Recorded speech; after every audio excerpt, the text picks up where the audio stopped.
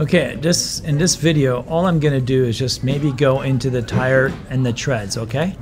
So I'm gonna see what what method I could use to to make it kind of work for you guys, okay? So it's sticking out of here, I'm not worried about that. So let's see, what can I do to make this seem like threads?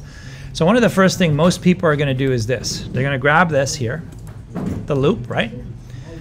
As, as a first choice, you may just do this, okay? You might use the third extrude here and just pull, okay? All right, so there's that option, which is kind of cool. That works. But look down here, there's something very interesting down here. Uh, extrude, extrude, flip, dissolve, where is it? Offset, even. No. Okay, so there's that option. Mirror editing, proportional editing. It was, I wanted it to be individual, right? I think this is. Let me just see what happens. So this is one method I think people can use, right? Okay, so I'll just say, I'll leave it at that. Okay, I'm gonna undo that. Okay. Another method is you can come in here and maybe taper this a bit, right? You can taper it without doing an extrude first. So you can say Balian, I think I'm gonna do something like this here, watch. Go option left click, we got that loop. And then uh, we'll go option left click here. So I've got both these loops. But the problem is going to be I'm, I'm going to bevel it, right? Okay, but remember this scale, right? Remember, always clear your transforms. So Command A, I think it's, isn't that Command A? I'm just losing my mind with all the different apps I'm using in a day.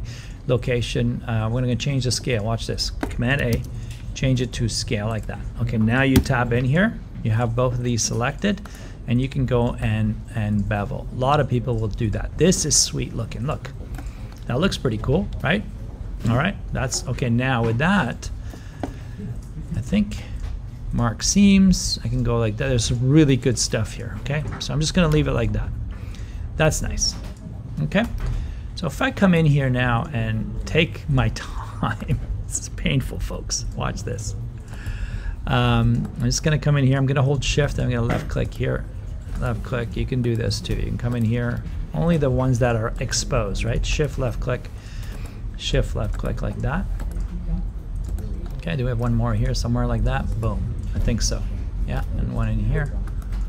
I'm hoping that that actually worked. Yeah, look, it's are all selected, right? So this is sweet.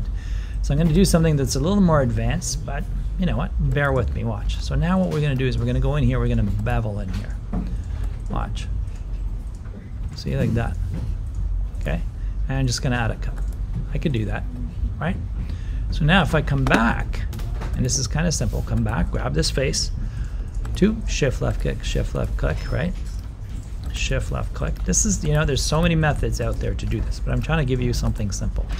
Shift left click, shift left click, good enough. And now I will go to extrude and watch this. See, like that. Okay, sweet. So when you look at it in profile, this looks pretty sweet to me, okay? All right, and now I can come in here and just bevel it, just a touch. This is, now we're getting into the detail mode, okay? So this looks like a tire tread, right? Okay, feel free to use this method, it's up to you.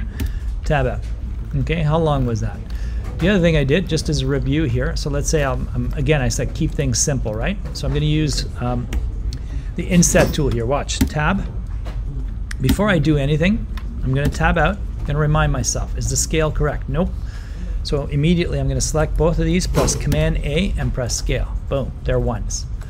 Okay, tab, go to face mode, boom, and just stay in the move, and I'm just gonna press I.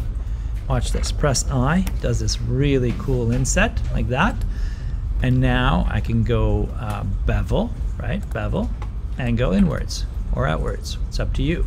You can do this, see? That's sweet. And now we can take that outside edge and just bevel it a touch. Okay, and if you want more detailed in here, come back, same thing, select that face and press I for inset and just do this. And then E for, does E work? Yeah, E for extrude, see? You can do stuff like that. So you got that Wally effect, okay? It's up to you. Um, and then I can just grab, this is super later, guys, so don't do this right away on day one, okay? So what I'm going to do is I'm going to come over here, uh, option left click, and I'm just going to bevel this. So these are things you do later. It's called hard surface modeling. So we're adding things that we didn't do in other projects. We're adding more information. I think this is pretty good. I don't have to add any more than that. Okay, I can grab this edge and add a bevel to it too, just slightly. Okay, like that. I don't even have to add that. So now I press tab. I'll say bye-bye to this one. X, go into MIX view, and I'm gonna duplicate it, move it to the right, okay? Shift D, Y, and move it and line it up somewhere over here. I think something like that for now. Okay, so this is a short, in just short demo, five, just under six minutes, adding detail. I'll do other ones for the forearm next, okay? I wanna keep these, so don't do this in the beginning. Wait till you have everything modeled and then do what I just showed you, okay? Please. All right? Tire treads and eyes for this one. Thank you very much. Balian out. So this was under